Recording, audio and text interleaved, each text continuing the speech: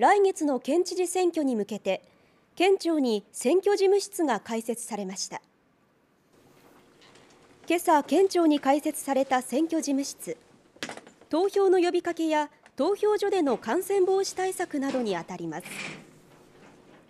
前回の県知事選挙の投票率は58.25%で2004年以降最も高い投票率でした。選挙管理委員会は前回並みの投票率を目指したいとしています。